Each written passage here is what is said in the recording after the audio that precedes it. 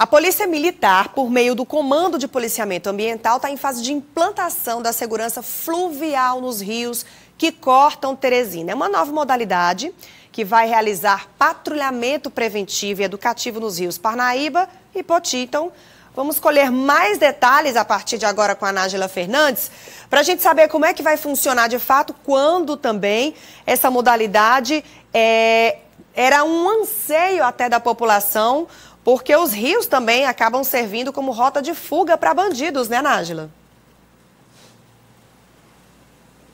Exatamente, Aline. De fato. Bom dia a você novamente, bom dia a todos que acompanham Notícia da Manhã. Os nossos dois rios vão contar, então, ainda esse ano com esse tipo de patrulhamento, com essa nova modalidade de policiamento que é a fluvial.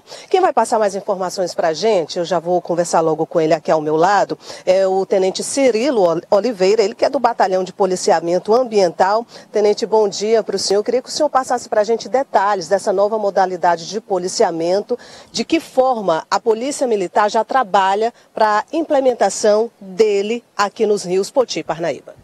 É, bom dia a todos, é uma satisfação falar para todo o Piauí sobre esse, essa modalidade de policiamento. O comandante-geral, o coronel Cheio, e juntamente com o nosso secretário de Segurança, entusiasta dessa modalidade de policiamento. O batalhão ambiental atualmente já está fazendo né, as, o patrulhamento teste né, dessa modalidade de policiamento e a implementação é, será feita após. Né? Já temos policiais preparados, feito o curso pela Marinha do Brasil para estar operando. É uma modalidade de policiamento que vai abranger todo o Piauí e tem a finalidade de fazer a, combater os crimes ambientais é, em toda a parte hídrica do nosso estado combate à questão é, de, é, de assoreamento dos rios, a questão da pesca predatória, então a questão do descaminho que há no, no período no, lá no litoral.